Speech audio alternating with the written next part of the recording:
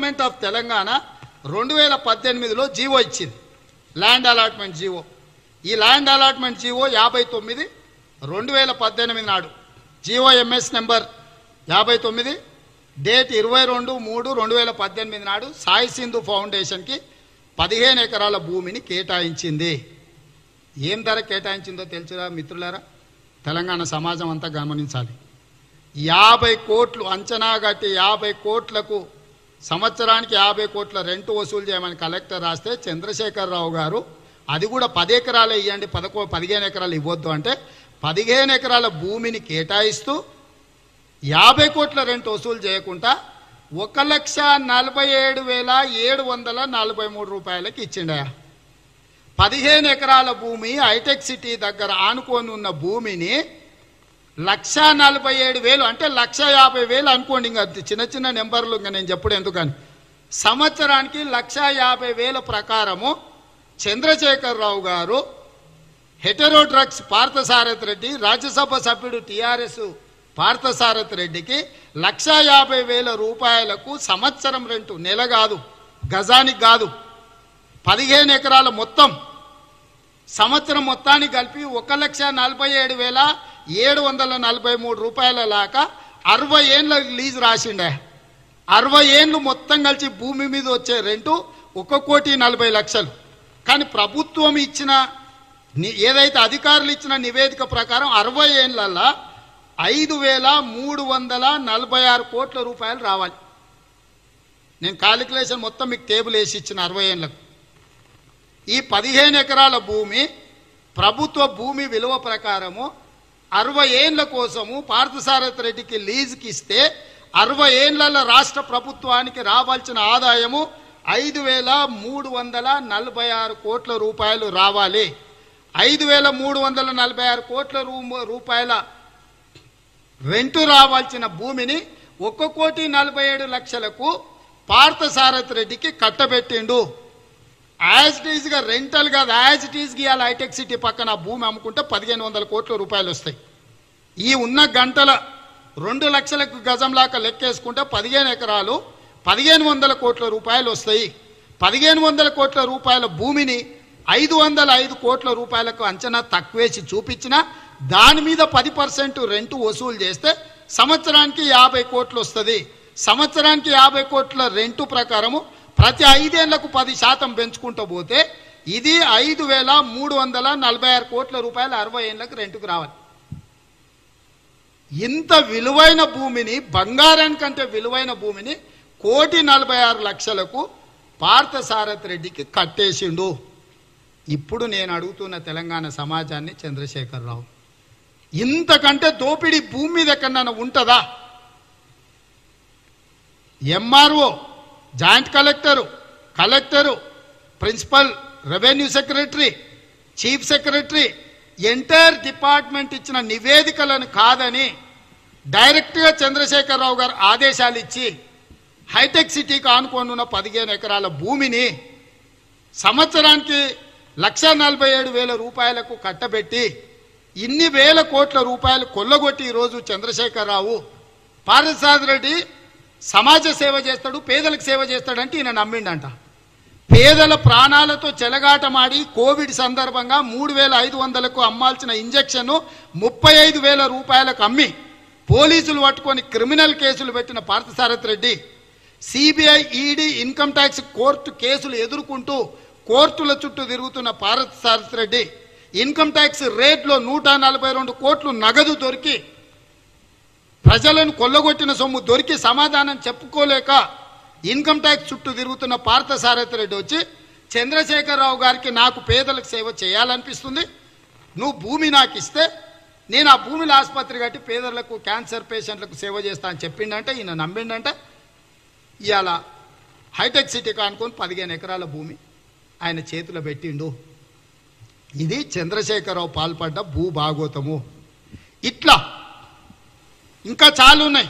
ఇవాళ ఒకటి చెప్పిన చంద్రశేఖరరావు భూదోపిడికి సంబంధించి సీరియల్ చెప్పదలుచుకున్నా ఇవాళ ఇది చూపించిన.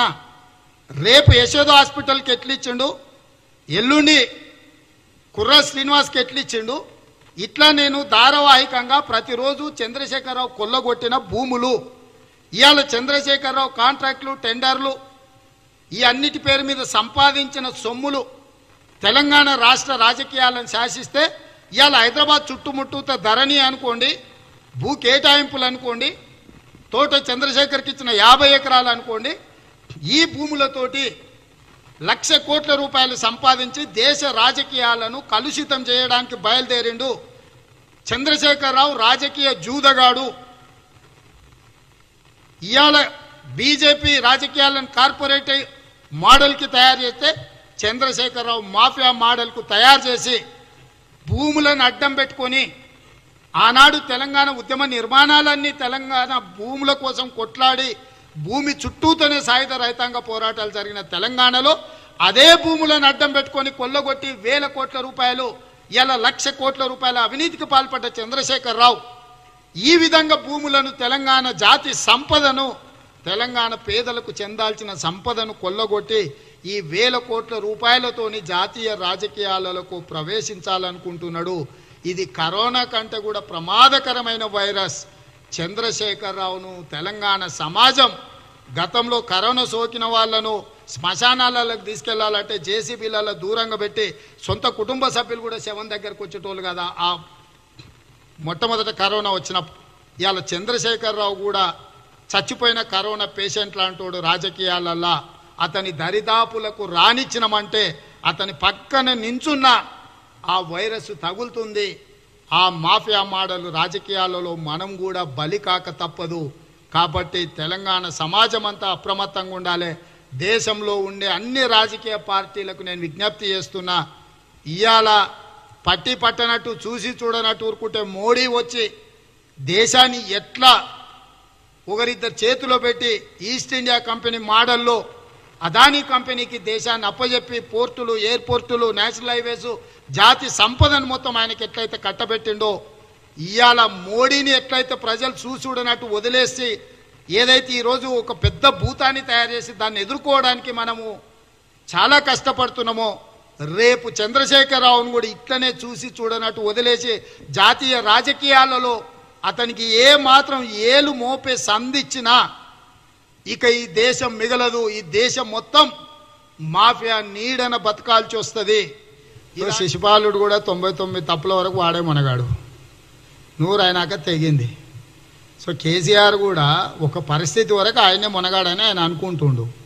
చూసిన మనం చరిత్రలు ఇట్లాంటి వాళ్ళని చాలామంది కాలగర్భంలో కలిసిపోయిన వాళ్ళని. కాబట్టి ఖచ్చితంగా ప్రజలు విఘ్నులు. ఇవ్వాల్సిన సమయంలో తీసుకోవాల్సిన నిర్ణయం తీసుకుంటారు. అంతెందుకు? కోట పీటలు వారింది కదా.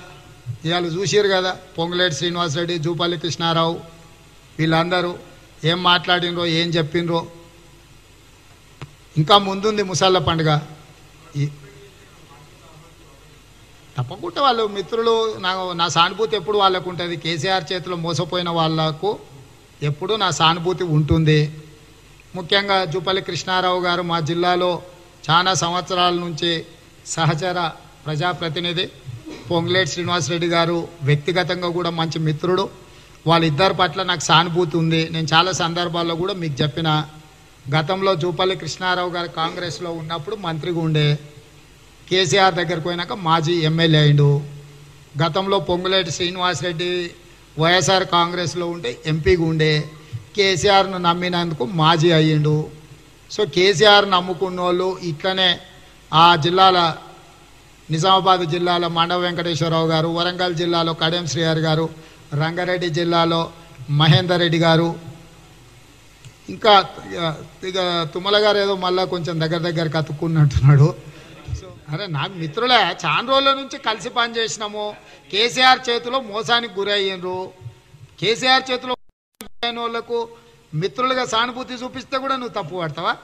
నేనే వాళ్ళ దగ్గర వాళ్ళను ఇంటికి పోయి ఇటు తీసుకొస్తానా వాళ్ళు ఇటు వస్తారా అనేది అది భవిష్యత్తు నిర్ణయిస్తుంది. ఇప్పుడు ఎందుకు? ఇప్పుడు క్లియర్గా పొంగులేటి శ్రీనివాసరెడ్డి గారు జూపల్లి కృష్ణారావు గారు తిరుగుబాటు జెండా ఎగిరేసిండ్రు. బీఆర్ఎస్ కోటలు బీటలు వారినాయి. ఇంకా చాలామంది ఉన్నారు. గతంలో గౌరవంగా బ్రతికిన వాళ్ళు ఇప్పుడు కేసీఆర్ చేతిలో బందీలై ఉక్కిరి బిక్కిరి అవుతున్న వాళ్ళు ఉన్నారు.